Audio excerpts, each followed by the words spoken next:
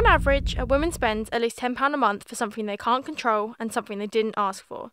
That adds up to over £4,000 in an average woman's lifetime. Money on the inevitable should be worth it. Let's make it worth it. Bodyform, because in life, nothing should hold you back.